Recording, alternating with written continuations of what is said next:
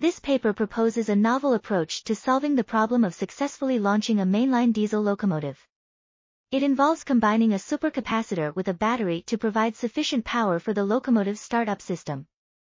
The simulation results demonstrate that this combination is more efficient than using a supercapacitor alone. Furthermore, the booster stabilizer scheme is used to ensure that the locomotive starts up quickly and reliably.